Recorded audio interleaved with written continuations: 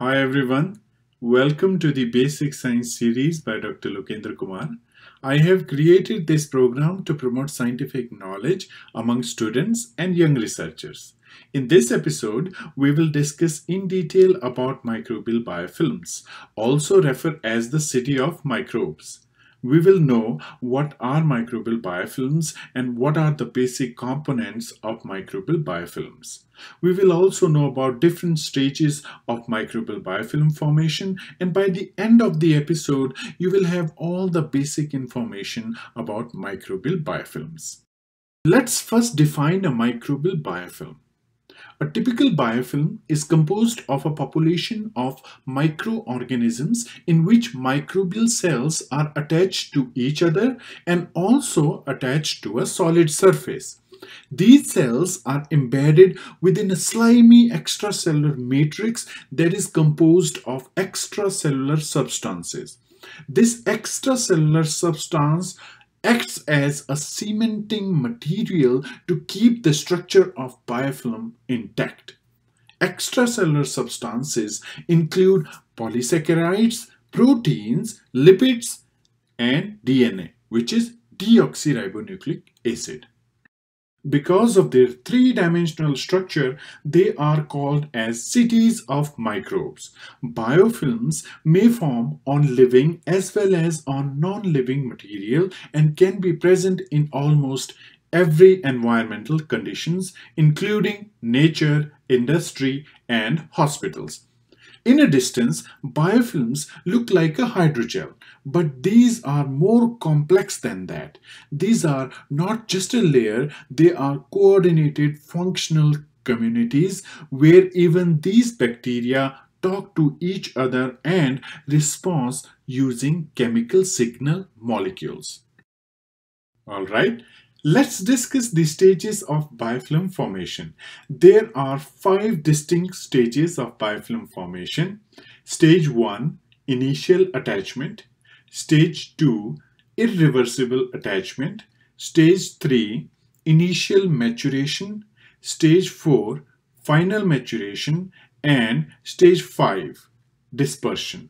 Let's start with the stage 1 which is initial attachment. This stage starts with the attachment of free-floating cells to a solid surface. At first, cell might attach the surface by weak van der Waals forces. These forces are the physical forces present between molecules and atoms and there is no chemical interaction present. Using these forces, bacteria make their initial attachments to a solid surface. Stage 2 is irreversible attachment. In this stage, if the initial attachment process is successful, bacteria use cell adhesion structures to attach tightly to the surface. Most important cell surface structure is pili. Pili are the hair-like structure found on the surface of many bacteria. Another property of bacterial cell that help in the attachment is hydrophobicity. Hydrophobicity is the property of molecule that quantify how much a molecule is repelled by the water.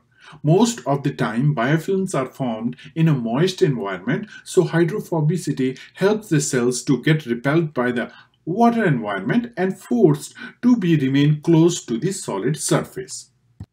Stage 3 is the initial maturation of biofilm. Here, cell communication or quorum sensing plays a very important role. At this stage, microbial cells secrete small chemical signal molecules that are also detected by the same microbial cells. The amount of these molecules determine the amount of microbial cell present in the surrounding area. When the amount of these molecules reach up to a threshold concentration, these molecules induce activation of the cells and then cells switch the expression of various new proteins. This complete process helps in the formation of biofilm as well as the spread of microbial biofilms. Stage 4 is the final maturation stage. At this stage, bacterial cells start producing very high amount of exopolysaccharide material in their surrounding. This helps the cells to make the huge tower-like structure of the bacterial biofilm.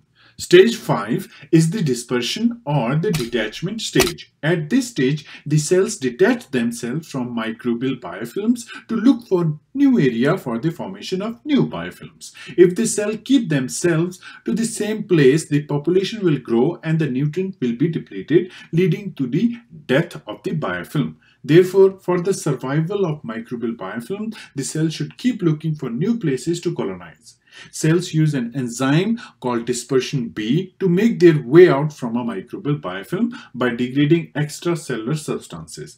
After getting detached from the microbial biofilm, the cells again start with the stage 1 and the complete process is repeated to make new biofilm.